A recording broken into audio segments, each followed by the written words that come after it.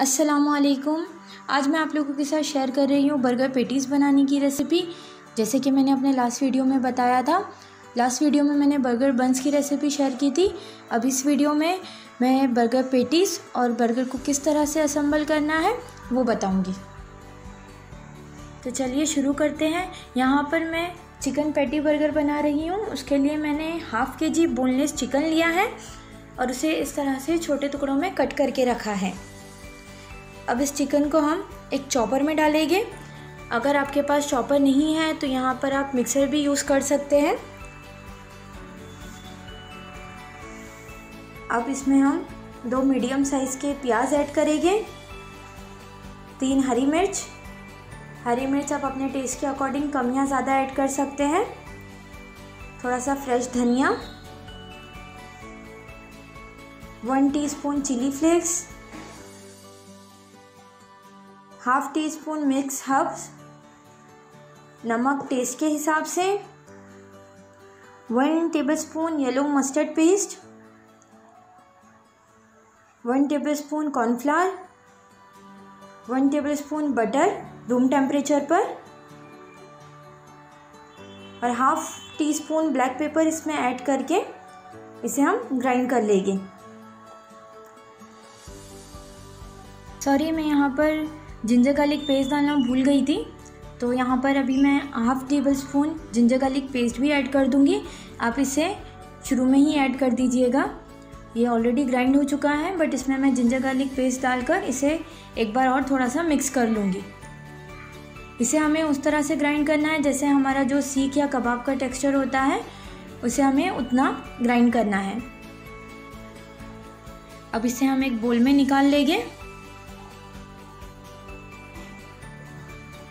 और हाथों पर ऑयल लगाकर इसकी हम इस तरह से पेटीज़ बनाएँगे। इस मिक्सचर से आप 12 पेटीज़ आसानी से बना सकते हैं।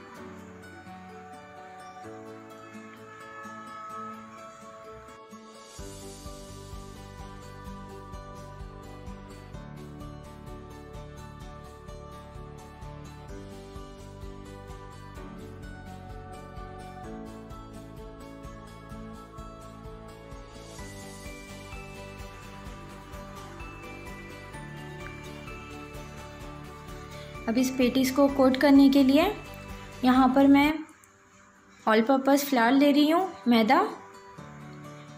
यहाँ पर मैंने एग वॉश लिया हुआ है। इस, यहाँ पर मैंने अंडे में थोड़ा सा दूध मिक्स करके उसे अच्छे से फेंट लिया है। ब्रेड क्रम्स लिए हैं इसे क्रिस्पी करने के लिए। पेटीज़ को हम सबसे पहले मैदे से कोट करेंगे, फिर इसे एग वॉश में डिप करेंगे और इसे फिर ब्रेड क्रम से कोट करके हम इसे एक प्लेट पर रख देंगे।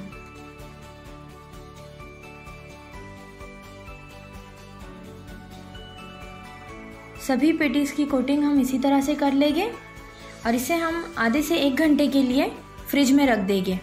फ्रिज में रखने से ये और ज़्यादा अच्छा और क्रिस्पी बनेगा।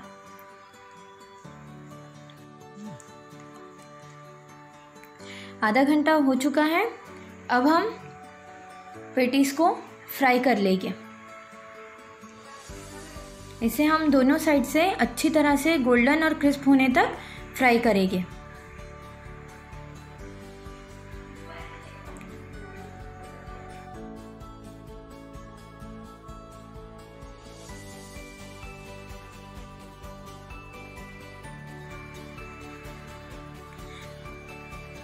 ये अच्छे से फ्राई हो गया है। इसे अब हम एक टिश्यू पेपर पर निकाल लेंगे ताकि इसका जो एक्सेस ऑयल है, वो इसमें एब्जॉर्ब हो जाए।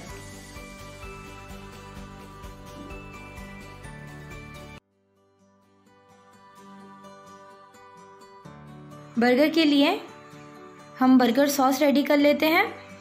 इसके लिए हम एक बोल में तीन टेबल स्पून लेंगे।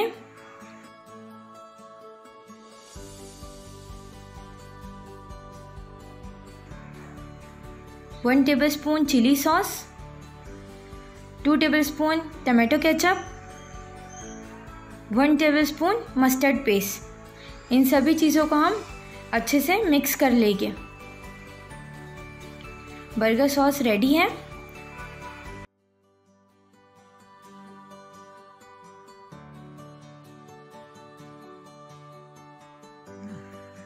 अब हम बर्गर को असेंबल करना शुरू करते हैं।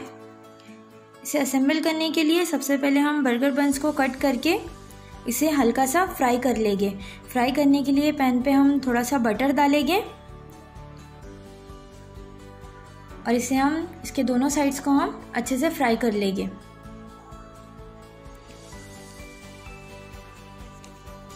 इस तरह से फ्राई करने से जो बंस है वो सॉफ्ट हो जाते हैं। और खाने में और ज़्यादा टेस्टी लगते हैं। अगर आप चाहें तो इस स्टेप को आप स्किप भी कर सकते हैं। बर्गर को असेंबल करने के लिए यहाँ पर जो हमने सॉस तैयार किया है, मैंने वो लिया है। और यहाँ पर मैंने सलाद रखा हुआ है कट करके। इसमें मैंने यहाँ पर लेटेस्ट लिया है। टमाटर को मैंने स्लाइस में कट करके रखा है। और प्याज को भी मैंने इस तरह से स्लाइस में कट करके रखा है। और हमने जो बर्गर पेटी बनाई है वो भी रेडी है। यहाँ पर आप लेटेस्ट अगर आपके पास अवेलेबल नहीं है तो उसकी जगह पर यहाँ पर पत्ता गोभी भी यूज़ कर सकते हैं। अब हम बर्गर को असेंबल करेंगे इस तरह से। पहले सॉस लगाएँगे, फिर यहाँ पर लेटेस्ट रखेंगे। चिकन पैटी रखेंगे। फिर इस पर हम चीज़ स्लाइस रखेंगे। प्याज और टमाटर के स्लाइसेस रख देंगे। ये सेम सॉस मैंने स्क्वीज़ बॉटल में भर के रखा है। ये थोड़ा सा और मैं इस पर डाल दूँगी। ये डालने के बाद बर्गर के दूसरे साइड से इसे हम बंद कर देंगे। बर्गर बिल्कुल रेडी है। इसे हम टमाटो केचप के साथ और फ्रेंच फ्राइज़ के साथ सर्व करेंगे। इस रेसिपी को आप ज़रूर ट्राई कीजिए। आप बर्गर बंस भी घर में बना सकते हैं, बर्गर पेटीज़ भी बहुत आसानी से आप घर में बना सकते हैं। इसके लिए आपको किसी मैकडोनल्ड में या के वगैरह में जाने की ज़रूरत नहीं है, बिल्कुल सेम टेस्ट आपको अपने घर पर भी मिल जाएगा। इस रेसिपी को आप ज़रूर ट्राई कीजिए। और आपको ये पसंद आए तो प्लीज़ मेरे चैनल को लाइक करें सब्सक्राइब करें।